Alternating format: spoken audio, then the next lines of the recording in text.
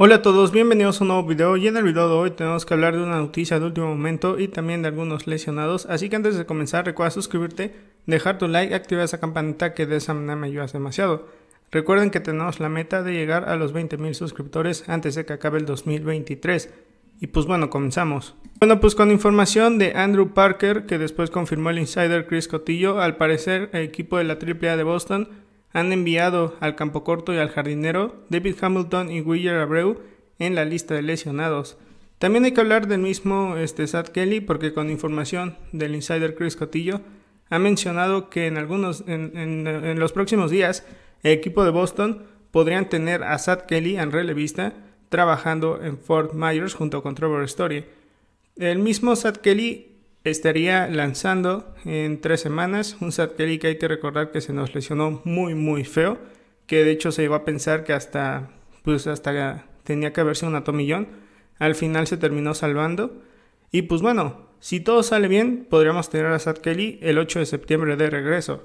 Y bueno hay que hablar justamente de la noticia del día de hoy. El día de hoy nos terminan sorprendiendo con la decisión de que los Marojas de Boston han designado para asignación al jardinero Raimel Tapia.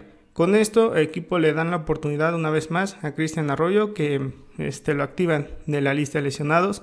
Un Cristian Arroyo que estuvo jugando ahí en la AAA y que de hecho la serie contra los Rays de Tampa Bay, pues ya estaba ahí con, el equipo. Y pues bueno, una noticia que, yo creo que se veía venir, porque obviamente en el 9 de, de junio vas a tener de regreso a Adam Duval el equipo de Boston al final deciden dejar a Jarren Duran en el roster, sacrificar a Ramel Tapia. Obviamente con la renovación de Rob Snyder, pues claramente no lo iban a dejar en asignación. Y obviamente pues no ibas a bajar ni a Masataka Yoshida, ni a Alex Verdugo. Entonces pues bueno, toma la decisión de designar para asignación a Ramel Tapia. Regresa Cristian Arroyo, un jugador que pues que yo lo personal yo creo que ya debería irse de Boston. Pero pues bueno, sabemos que Alex Cora protege mucho al Cristian Arroyo, al mismo Quique Hernández. O sea, yo creo que Alex Cora debe de ser un poco más objetivo. Estos tipos no funcionan y los mantiene. Pero bueno, al final Ramel Tapia fue un tipo que le faltaron oportunidades en Boston. Yo creí que se iba a quedar todo el año, al final no. Él terminó bateando para 264, 87 turnos, un jonrón, 10 remolcadas, 6 robadas, OPS 701 y Cristian Arroyo en lo que da la campaña va para 257, un jonrón, 11 producidas, una, una, base robada y 660 de OPS. Y pues se queda Jarren Durán, algo que pues yo lo personal, yo, lo, yo, yo sabía que Jarren Durán se iba a quedar en el primer equipo, porque obviamente es el proyecto futuro y el proyecto futuro no era Ramel Tapia, es Jarren Durán.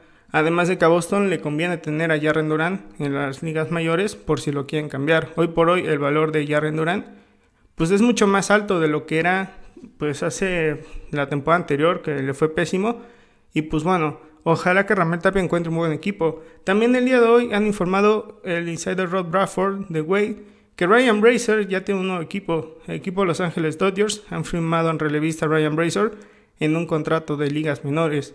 Ya veremos qué es lo que pueden hacer con él.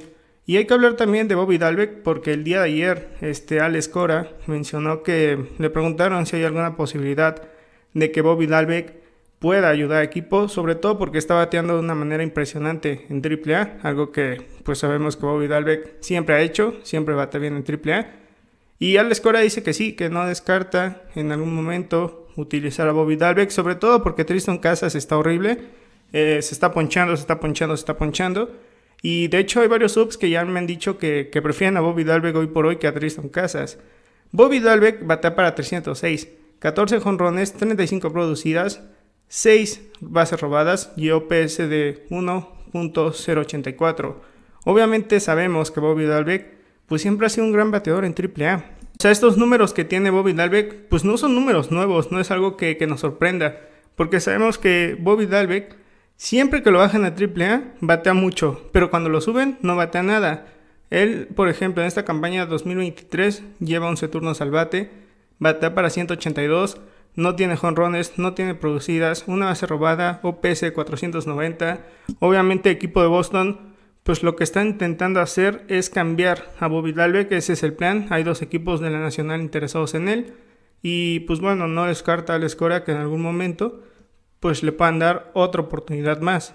Y bueno, también Adam Duval, al parecer en los últimos juegos en AAA, pues está poco a poco despertando. Lleva 16 turnos, batea para 188, 2 jonrones, 3 producidas, OPS 941. Un Adam Duval que inició eh, de una manera pues muy lenta, pero obviamente es normal, así inició en el sprint training, después empezó a batear muchísimo. Obviamente se espera que pueda estar de regreso el 9 de junio para enfrentar a los Yankees de Nueva York, algo que sería sumamente bueno. Ese Adam Duval que, se está convirtiendo en un bateador clutch, obviamente equipo de Boston, sobre todo porque Rafael Devers anda muy regular. Equipo de Boston necesita un bateador clutch, porque obviamente este equipo en momentos importantes cuando tienen que hacer las carreras no las hacen, están empezando a ser equipo que fueron la campaña anterior, en donde con corredores en base pues no hacían las carreras, entonces el equipo de Boston están urgidos de recuperar a Adam Duval y que sea ese bateador que tanto se ocupa. Bueno, también me acabo de encontrar con una información de último momento. Han informado que en los próximos días podríamos estar viendo a Emanuel Valdés de regreso en AAA y que Pablo Reyes le podrían dar asignación. Esto para hacerle espacio a Adam Duval, que como les digo, él estaría de regreso el 9 de junio, y Yu Chang, que obviamente, este, pues Yu Chang gusta muchísimo por, por su defensa.